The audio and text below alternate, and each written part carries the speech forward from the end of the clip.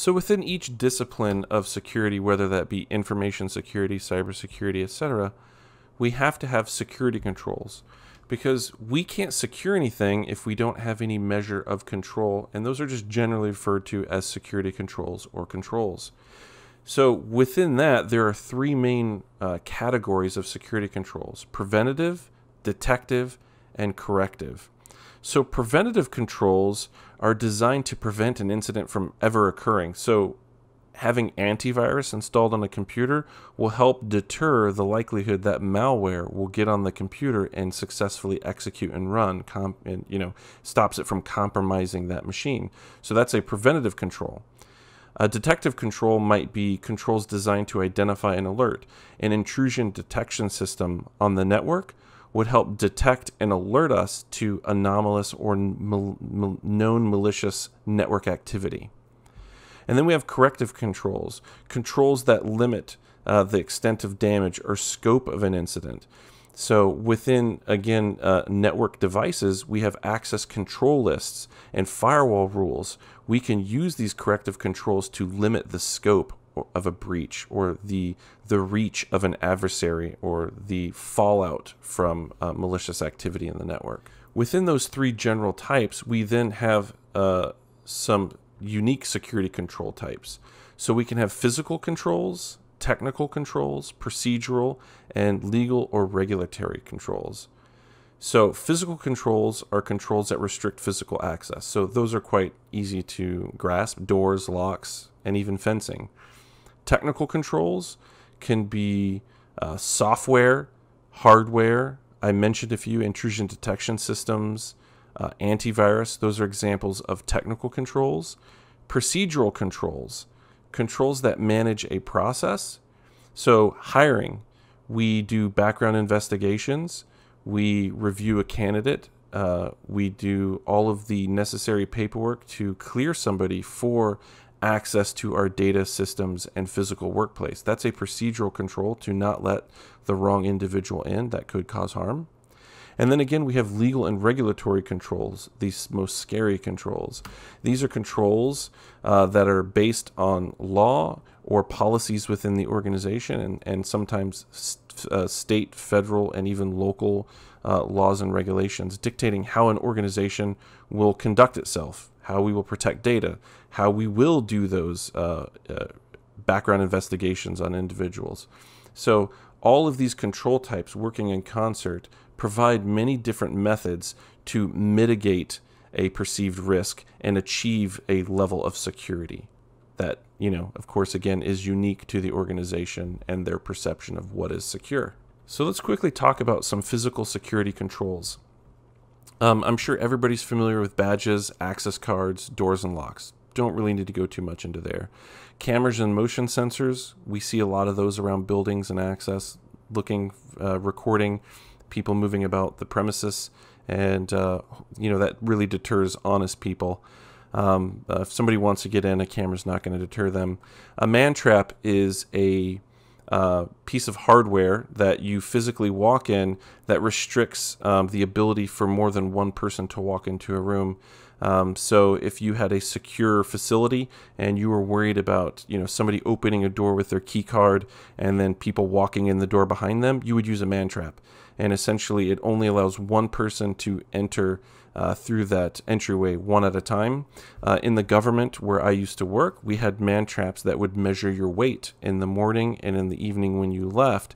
And if there was a variation of too much weight, it would physically lock you in the box and it would stop you from leaving so that security could uh, ask you why you are so much more. And I think it was roughly like 10 or 15 pounds. But essentially, they're looking for, you know, hey, why do you have a backpack full of, you know, tons of paper and documents or what have you? Um, and that's really what those, those types of, of devices uh, provide. Uh, bollards uh, we've all seen bollards. They're physical barriers in front of buildings. Uh, if you go to a retail store and the concrete uh, balls, like say in front of Target, the big red balls they have out there, essentially stop vehicles and large uh, uh, objects from moving onto walkways and paths. They restrict a vehicle from driving in a front door, if you will.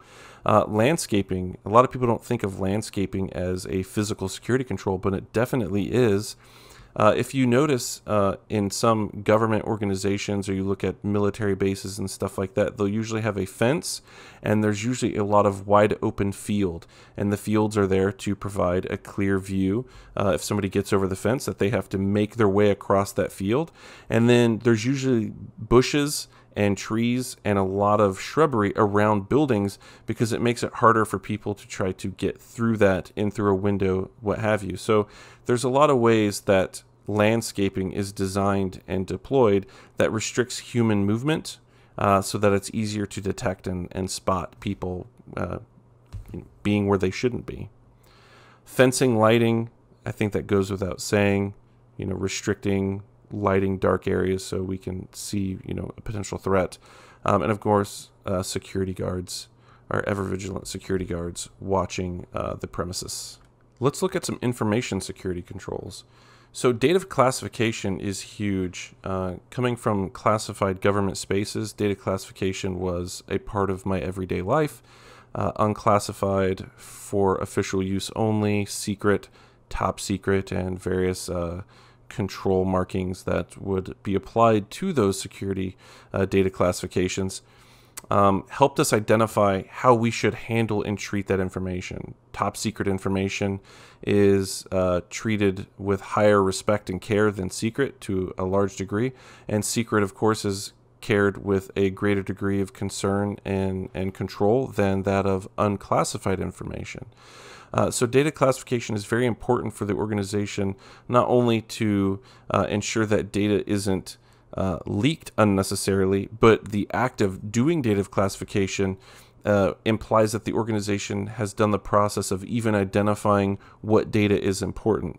Many, many organizations have not done data classification in their organization and would struggle to identify which systems store critical information that could not be lost and that would be detrimental to the organization. So, data classification, very, very important, and it falls within information security. We have authentication and authorization. Who has access and what do they have access to? And that makes that whole activity way easier when you've done data classification. If you know where your data is and you know how it's classified, it's much easier to authenticate and authorize individuals to view and use that information. To add additional security, data encryption, encrypting that data so that only authenticated and authorized users have access to that data. If an unauthenticated or non authorized individual gains access to data through some means, it's encrypted.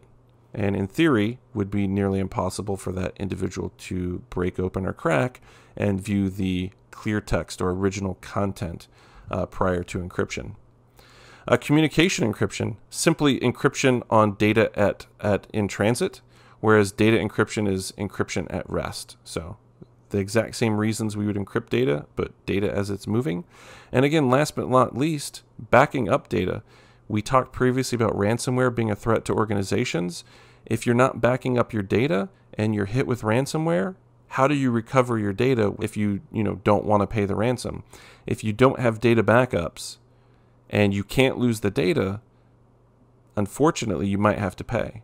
And I don't condone paying for ransomware. I highly suggest people have data backups and they encrypt their data and they have good authentication and authorization to limit the damage that ransomware and other attacks could uh, put against the organization. So let's review some cybersecurity controls. We've talked about a few of these, but antivirus, one that almost everybody should be familiar with, is designed to stop viruses and malware from executing on our computers.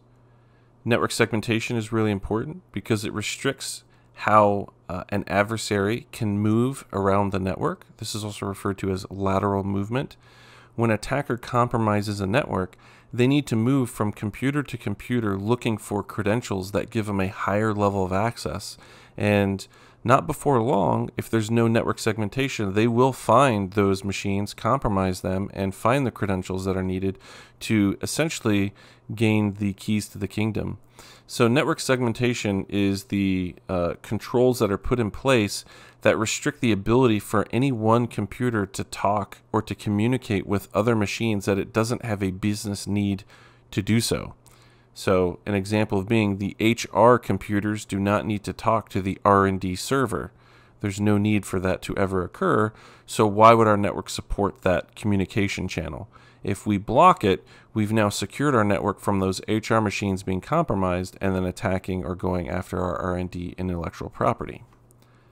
Network security monitoring is a follow up to network segmentation. Once we have good network segmentation, it's very easy to baseline and identify what's going on in our network. So, through good monitoring, we can start to identify these known and unknown threats to our organization. To further support uh, our cybersecurity controls, we harden systems, which simply means we reduce the attack surface. A good way to think of that is a default Linux operating system, say from Ubuntu comes with a certain set of features that are enabled by default. Well, we don't need all of those features, and leaving them on by default exposes us to potential compromise. What if one of those features that we're not using becomes vulnerable? An exploit is identified for it, we have it running, even though we don't use it, it is now a risk to our operations. So, by reducing or limiting what is running on a workstation or how it is configured, reduces our attack surface and again hardens the system from attack within the network. To further support system hardening, vulnerability and patch management, identifying vulnerabilities and patching them, updating the software, keeping things to the latest version is critical to securing a network. For the most part, vulnerability and patch management and strong policy regarding uh, the use of passwords and how passwords are audited would probably stop well into the 90th percentile of attacks that most organizations occur. There's generally a few uh, basic principles of security that, when applied, are extremely effective. The problem is it's just easier said than done. Even though they're simple tasks, it's hard to do at scale. And again, logging and auditing. Data is cheap, storage is cheap, communication uh, bandwidth is cheap. Log and store everything for analysis.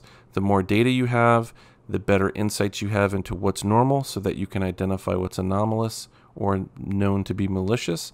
And that really supports your investigation process.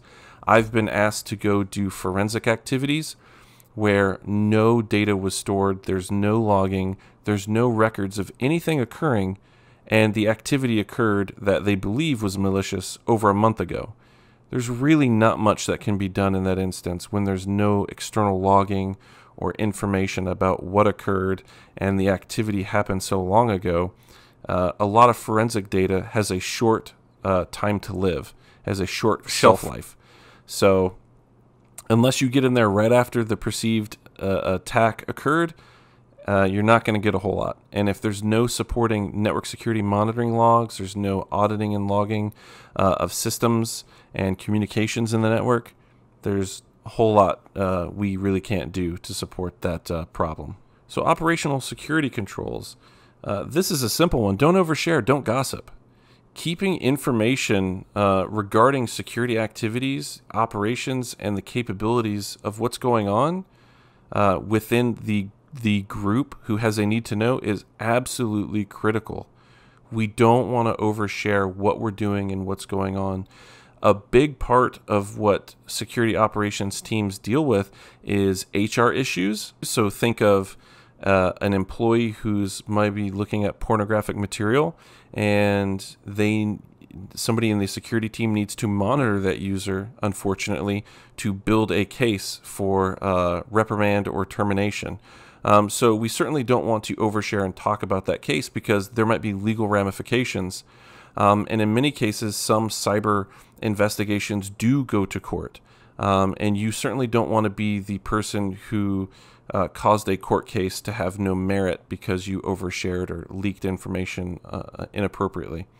Uh, using virtual machines, the virtualization of operating system has been a huge boon to our ability to analyze information, uh, particularly malicious software malware in a safe environment. So we're able to collect malware and detonate or execute it in this safe virtual environment for analysis. And this allows us to do investigatory activities uh, in a secure place that doesn't leak out to the rest of the network and doesn't tip off adversaries that we're analyzing their tools and capabilities.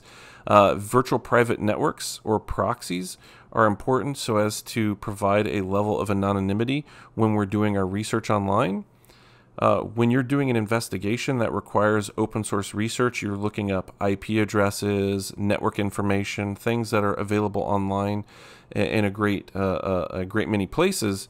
Um, it's possible that in your searching online, you might tip off an adversary that you're trying to do research about them. And we certainly don't want that to happen. So, anonymizing yourself online is very important so as not to tip off the adversary. Uh, another tool that a lot of organizations use is a LTE hotspot or just a, a mobile hotspot. Uh, when you're dealing with a serious uh, uh, breach or infection in the network, they don't even trust their local network anymore to communicate. They'll go use LTE, LTE hotspots to remove the communications and the coordination of the investigation completely outside of the network using different communication channels. Again, that goes into secure communications. Many advanced uh, attackers, when they compromise the network, they're going to go monitor the security team and admins of that network. If you're an adversary and you have access to the network, why wouldn't you go get on the mail server and monitor the email communications of the network admins and what they're talking about? Oh, are they talking about, you know, uh, something going on weird, an anomaly on one of those servers?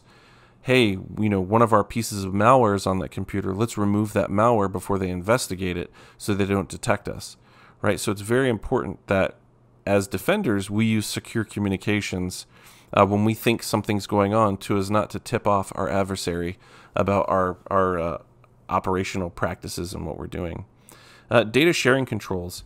Uh, this is really important, and it goes back to data classification in many ways. Um, when you working are working in a security operations team, uh, not only are you receiving an influx of information about what your network's doing and you know what the industry is seeing from trends and alerts and, and, and types of different malicious activities your organization will generate its own threat intelligence or information or knowledge about what's been going on in your network, the types of attacks and activity you've been seeing. Many organizations share this information with other organizations.